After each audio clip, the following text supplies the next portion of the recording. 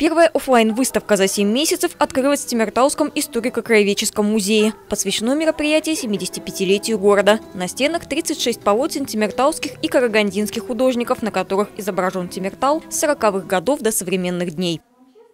Знаете, очень часто нужно ну, наше современное поколение просто подойти и спросить, а ты знаешь, как выглядел э, саманные дома, с чего начинался вообще как бы город Тимиртау? Вряд ли. Вот художники, запечатлев своих картинах, дают нам возможность это увидеть.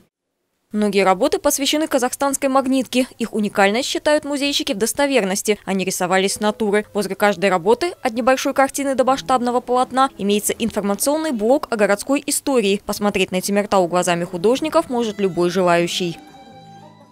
Площадь нашего музея позволяет нашим посетителям приходить и смотреть. Здесь есть строгая разметка, э, полтора метра, так сказать, и можно прийти в любой удобный для них время, момент, а, вот, и насладиться живописью наших художников. Размер группы для экскурсий не должен превышать 15 человек. Также необходимо надевать маски, соблюдать социальную дистанцию и следовать всем противоэпидемиологическим правилам. Музей готов принять гостей 7 дней в неделю. Светлана Лебедева, Сергей Баданин. Новости Тимиртау.